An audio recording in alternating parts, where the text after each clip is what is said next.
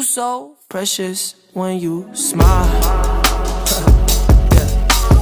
Hit it from the back and drive you. In my spare time, I love hiking. Um, so any place to get me outside. Um, my favorite hikes are in Malibu. Girl, I lose myself up in those. The best thing about EY is the people. Um, I just love being able come to work every day and seeing the EY faces and building that connection.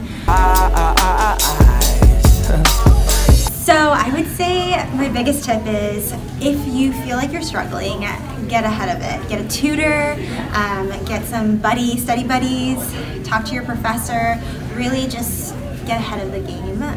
We know classes are hard and a lot of time invested into it, so really just, if you don't get the material, ask. Always ask the question.